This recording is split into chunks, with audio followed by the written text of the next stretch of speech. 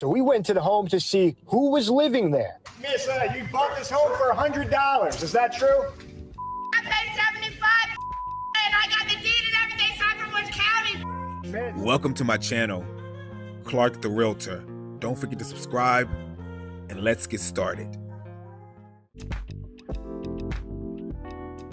What's going on, y'all? Devon Clark here, National Realtor. Today, we are going to talk about the topic of squatters. Again, if you guys don't know, squatting has become an epidemic that is not only plaguing the nation of America, but also the world in general. So let's check out a couple videos in regards to what's happening around the world when it comes to people squatting on other people's properties. But not only that, let's actually dive into something that is called an intruder warrant. So I'm not sure if you guys have this in your state, but where I currently live, they have a warrant called an intruder warrant. So we're going to dive into these videos, then we're going to dive into this warrant. Hopefully this warrant can help you out in the state that you're from, whether it be the city or the county that you live in currently, if you're a homeowner or an investor. Let's get into it. Fox 35 investigates a woman who planned on spending her golden years in Orlando, finds out strangers are living in the home that she owns. what a shock, right? Fox 35 investigated this case and found out this is happening more than you might realize.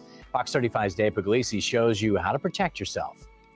They'll just and I just give my blood America. They don't do nothing themselves. Marie Presume always planned on retiring from Boston to Orlando. More than 20 years ago, she bought this home on Wolf Road. For years, she's lived in the home on and off, but the pandemic kept her in Boston for the past three years. Imagine her shock when she showed up and found strangers living here, claiming so in this situation, she is considered an absentee owner. So if you guys don't know what an absentee owner is, uh, on the real estate side, we call it absentee owner someone who doesn't occupy the property currently. So you could that could be an investor who bought a home and they don't occupy the property. They might never occupy the property and they're renting it out to other uh, tenants. Or an absentee owner can be such like her, where she bought a property in a different state, but she lives in another state. She doesn't rent it out. She just goes back and forth. That might be a summer vacation house, something that she's hopefully um, aspiring to transfer to when she gets out of living in this current house into another house, but she's not there currently. Or maybe absentee owner can be somebody that's possibly doing an Airbnb, things like that. They buy the property, but they don't frequently stay in the property.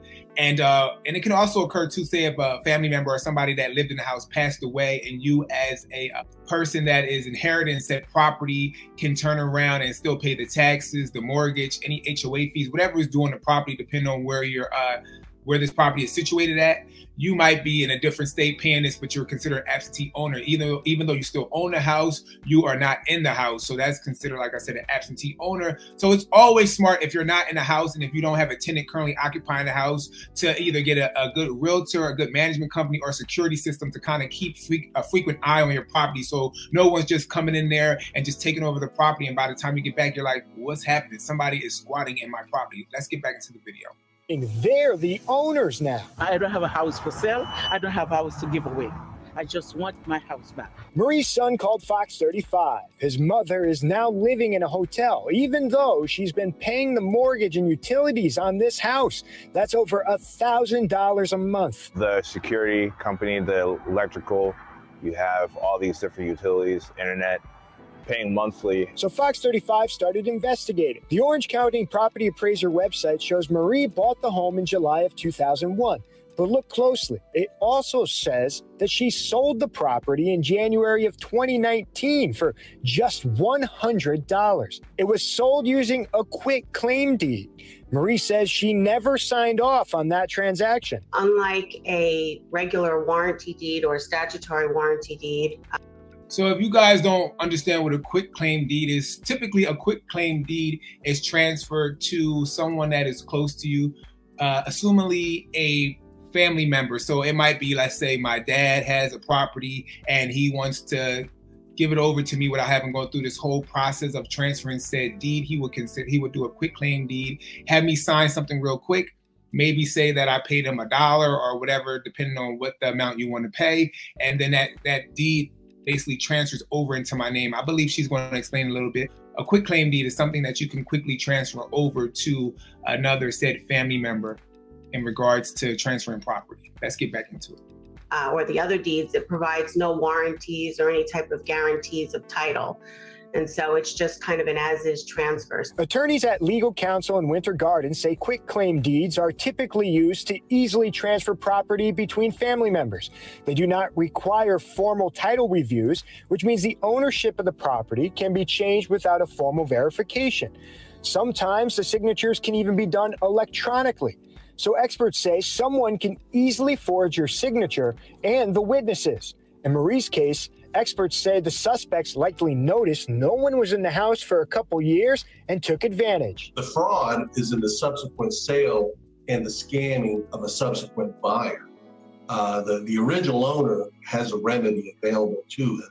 He simply, you know, file affidavits and testify on the oath. That's not my signature, and, and uh, it should be. So in this situation, like I said, we're going to get later on into this thing called an intruder warrant. Uh, again, I'm not legal. I'm just a realtor, so I'm not sure in this case because everything had been transferred per se via electronically online, quick claim deed and everything. I believe the woman does get the squatters out at the end of this video. But in regards to this, I would ask, I would tell you guys to seek legal counsel to see how you can properly do this because with an intruder warrant, I believe it has to be something where uh, there is no type of lease in place or any type of structure that says you're uh, renting out the place or you're the owner of said property. In this situation, I'm not sure. Again, I would tell you guys to uh, advise legal counsel. I am a realtor, so I'm just basically diving into these videos to tell you guys about squatters, squatter law, situations that are happening.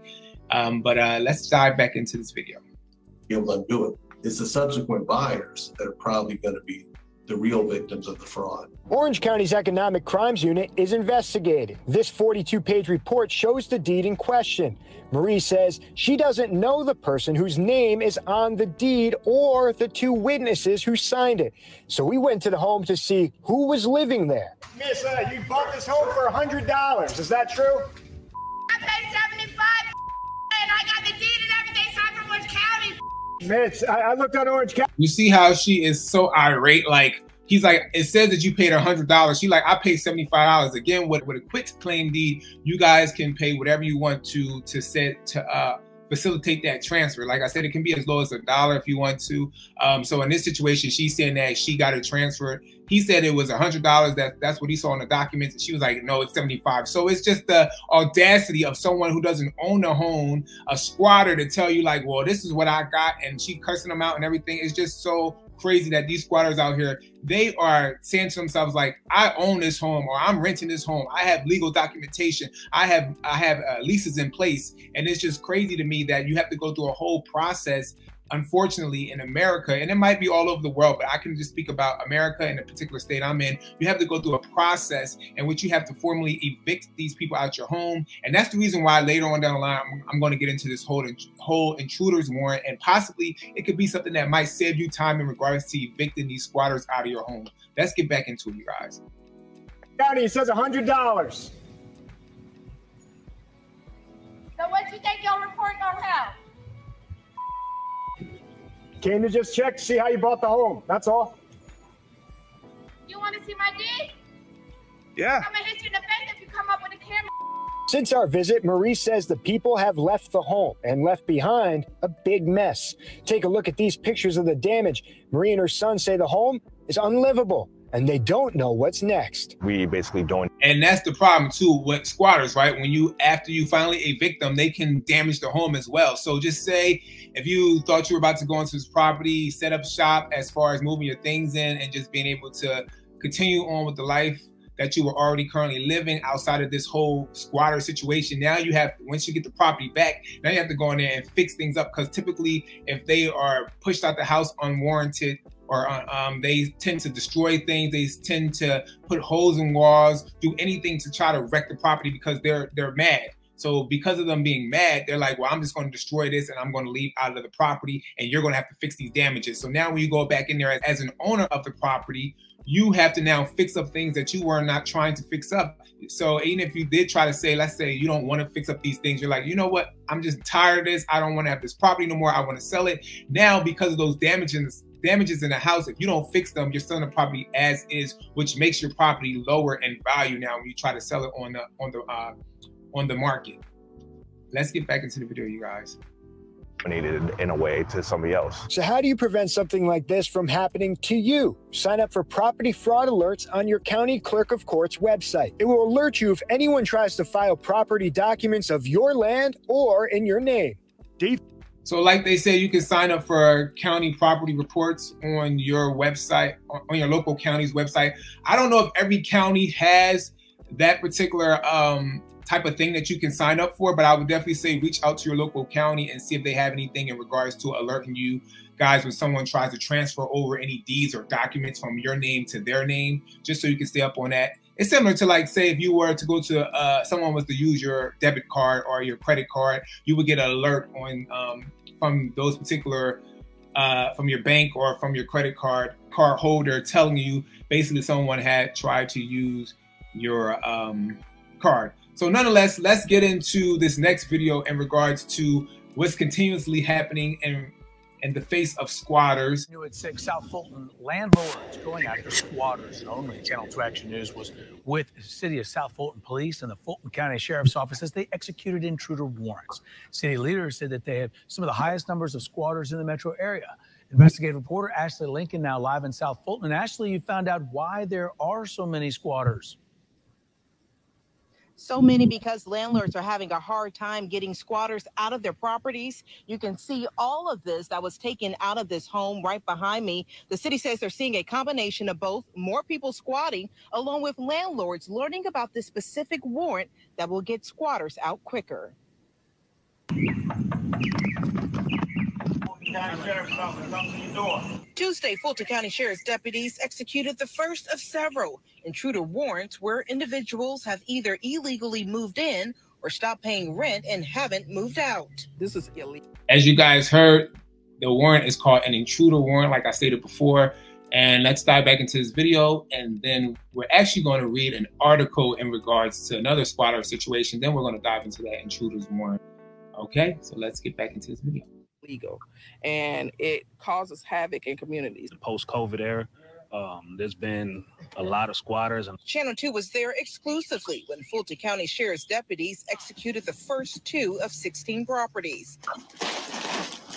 It says since COVID, there has been, like he said, an uptick of squatters. And I believe the case of this is because inflation, a lot of people cannot afford to live in these high rents a lot of people do not make that much income. And then also just to qualify for renting nowadays, depending on where you're at, where I'm at currently in Georgia, you have to make three times a monthly income. And depending on what management company or who uh, you decide to rent from, it might be three times your gross income, three times your net income. So some people don't even make three times the income. If the rent is $1,400, times that by three, what's that about? What $4,200, I believe, $4,200 a, a month that you have to bring in. And if you're working a, a regular job and you're one person and you're trying to survive with kids, you, you're not bringing in that income monthly. So it's no excuse in regards to people squatting on people's properties, but we also have to adjust the way in which people are um, kind of kind of evaluated to to get a lease and also to be able to occupy a property as a tenant nowadays, right?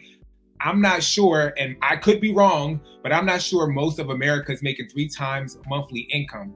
Okay, so let's dive back into the video. City of South Fulton Councilwoman Helen Willis says it's an increasing problem in their city. I get a call every week uh, from residents that live within my district complaining. So much so, deputized City of South Fulton police officers are training under Fulton County deputies, learning how to execute intruder warrants. The process with intruder warrants actually starts with the landlord. After knocking at the first house, a family of seven walked out. The adults told me off camera they just paid the landlord. According to the city, the property owner had not been paid in nearly a year. Squatting is not a solution to affordable housing. The county says intruder warrants only take a few weeks to execute, while evictions can take a few months. Over the difference between it and an eviction is the fact that an intruder does not have a landlord tenant relationship. Captain Phillips says landlords needing an intruder warrant must get a notarized affidavit of service and filing it with the sheriff's office's civil processing unit. The person in the house does have an opportunity to say their piece and to get determined in court. However, if they do not, at that time, the intruder would be ejected. At the second property, workers had to drill open the door when no one responded. A neighbor who didn't want to be identified said police were constantly being called to this home. Since the the real owner moved out, it's been a lot of people in and out. It's an Airbnb. I didn't like that. And the city says the remaining 14 warrants will be executed in the upcoming weeks. Now, the sheriff. So, as you guys heard, there is a, also a protocol with an intruder warrant, but it is likely that if you have an intruder warrant over an, an eviction, it can take it can be a quicker process. Again, this is currently in the state of Georgia and also in the county of South Fulton. They have this, um, they're executing these intruder warrants to get squatters out of properties. So now let's kind of dive into this other article I found, which I find very interesting. It's about squatters again in Georgia but and how the neighbors were constantly complaining about these squatters, but yet the cops didn't do anything until they found a car and a car parked on their property that had um, license plates basically that didn't belong to them, I believe. And then once they did that, and then they found out all these other things happening in the house that the neighbors kept complaining about. And then on top of that, they found out that these people were also squatters. So it, it's kind of it's crazy, you guys. It's really crazy, but a lot of squatting situations are happening. So let's dive into this article right now as well. All right, guys. So let's dive into this article in regards to squatters as well in the South Fulton, Georgia area, like I stated earlier. And we're just going to read through it real quick. We're just going to skim through it. But this is in regards to these four men that were squatting on the property and the situ and the different things that had they had going on in the house at the time. And the police didn't make their way over there until they found, like I said, a license plate on the car that didn't belong to them, which is crazy to me. So it says right here in an Atlanta, in, in an Atlanta housing community, authorities arrested four men who were occupying a home without permission and running an illegal strip club operation, you guys, within the premises. A strip club operation. this is wild. Like these people are squatters and they're like, I don't care if I'm a squatter or not, I'm gonna do whatever I want to do. And it's just the audacity of people like right in front of your eyes, they don't care. And they're like, Well, who's gonna check me? Who's gonna make me move out of here? It says on Sunday, a SWAT off a group of SWAT officers uh, entered a house. I'm just reading through it real quick, you guys, in the South Fulton, uh, Georgia area and detained four men who were residing there unlawfully. It says, according to the residents interviewed by WSB TV, people next door were dubbed the worst neighbors ever due to their reported weekend strip club operation, reckless street racing on residential roads, and occasional sight of live horses strolling their yard. What is going on, y'all? These people, you are squatters on a property. And you are like, well, shoot, I'm about to live my best life. I'm going to do a strip club operation on the weekends. I'm going to speed race down the street. You don't even belong in this property. And then on top of that, I'm going to have live horses in the yard, y'all. A lot of partying. They had an illegal strip club on the weekends. One neighbor told the local news station they were they would get live horses. One day they had live horses another neighbor said. The local news outlet WSB TV reported that the squatters living in the dilapidated property had been a source of regular complaints from the neighbors, yet no actions were taken until recent Sunday when a SWAT team carried out a raid. So the neighbors were complaining like these are squatters, these are squatters, these people do not live in this property, and they had all this stuff going on, like the audacity of people nowadays. Like they when they tell you people will do it right in front of your eyes, and they're like, who cares? Because no one like they the neighbors were calling police constantly. And so this is another situation like on the other end where you have people that are in your neighborhood that are literally looking out for the best interest of your property. They're calling police because they're like, hey, squatters are taking over his property, X, Y, and Z. And sometimes the police won't come. Sometimes it would actually take you as the owner of said property to call the police because if the neighbor calls, sometimes they won't come. Sometimes they will, but in all cases, every police force is not coming out because a neighbor called and they're like, well, if I call you, they're like, well, in their mind, they might be thinking, well, this ain't your home, so who cares? You know, even though we shouldn't think like that because we have neighborhood watch, but that's how it works sometimes. So it's like the opposite end of everything too, right? You have this the uh, squatter videos I showed you earlier in regards to the police being present and being there and taking care of stuff. And then you have this situation where neighbors are calling for the police to come and they don't come. And then finally, you know, and, and they finally did come, but after so many complaints and incidents, and and the reason why they came is crazy. So let's listen up. It says the police stated that the SWAT team operation resulted in the arrest of four individuals residing in the house. The motive of the raid was due to a stolen vehicle that was detected on the property by a license plate reader. So it had nothing to do with the neighbors calling in regards to squatters living in the property. It had everything to do where it says the police, the motive right here, the motive of the raid was due to a stolen vehicle that was detected on the property by a license plate reader. So if they didn't detect the license plate, the, the, the car being stolen per se, or the license plate, whatever being stolen, they wouldn't have came even though people constantly said, hey, they're squatters, they're squatters. Upon investigation, the authorities uncovered an array of stolen items, include a firearm, two stolen cars, various forms of identification, and several credit cards that have been unlawfully obtained and used. But let me know what's happening where you're from in regard to squatting. Uh, what's happening in your neighborhood? Are you seeing an influx of squatters coming into your neighborhood, squatting in homes that are absentee owner homes, so investor property owns homes, things like that? So let's kind of jump into this article in regards to an intruder warrant so you guys can see what that is. All right, and I also want to say this is not bashing the police. They are doing a wonderful job, but I'm just saying in that last article that I find found it very ironic that people were complaining about squatters and we've been having this uptick of so many squatters taking over properties for them not to come until they saw a license plate that read that it was from another person, which is crazy to me. Anyway, so uh, there's nothing against our law enforcement. I appreciate them. Thank you guys for working hard to kind of resolve this issue.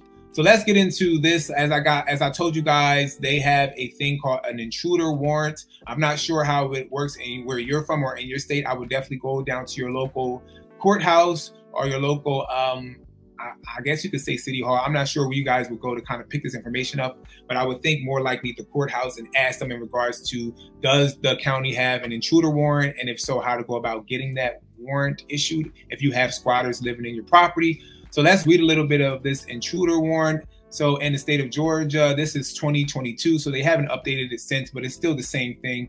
It's uh, Georgia Code Title 44 Property Chap Property, Chapter 11, ejectment and proceedings against intruders.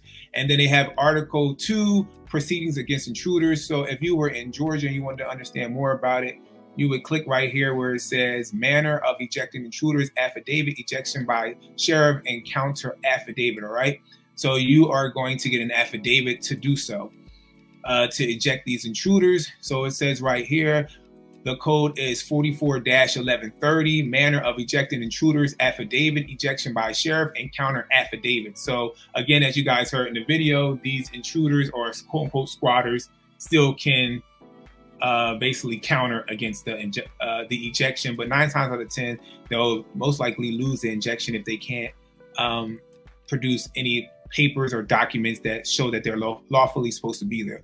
So let's read through it real quick. It says when it, with when any person either by himself, his agent, or his attorney, in fact, shall take and subscribe an affidavit in the writing in writing before any officer before any officer, sorry, authorized to administer an oath setting forth that he claims in good faith the right of possession to to the described land or tenement and that such land or tenement is in the hands of another person who does not in good faith claim a right to such possession and yet refuses to abandon the same to abandon the same. It shall be the duty of the sheriff of the county where the land of the tenant where the land or the tenement is located upon receiving such affidavit to exhibit such affidavit to person described as being in possession of such land or tenement at the earliest and possible day and to turn such person out of possession unless the person and the possession tenders to the sheriff a counter affidavit stating that he claims in good faith a legal right to the possession of the land or tenement. They check that out if you are a homeowner dealing with squatters currently on your property, if you're an investor dealing with squatters currently on your property,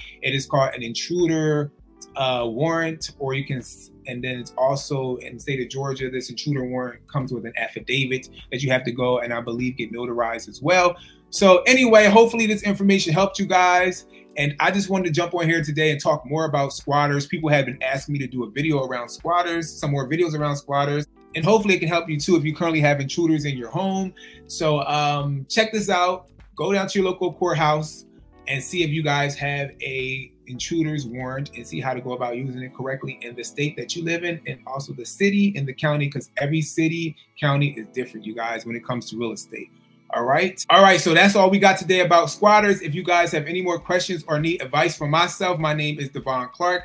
I am a national licensed realtor. I help people buy and sell in the state of Georgia, but I can also refer you to other realtors local to your state and also your city and your county. So reach out to me if you are looking to buy or sell property, or even if you're an investor that you currently have squatters at and you need some information of how to go about properly trying to get them out of that property, you can reach out to me. My email is below. And if you are currently dealing with situations like this, like I said before, put it below. And if you have successfully gotten squatters out of your property, please put that information below so we can help other people out. The premise of me doing this video is for you guys to continuously fill those comments up so that going forward, if someone finds this video and they live in the same state you live in and they see how you went about getting squatters out of your property and all those things, they can then follow the same thing or hit you up as a resource to be able to do the same. All right, again, my name is Devon Clark. If you need any advice from me or any more information in regards to real estate, hit my email below and, and I look forward to talking to you soon.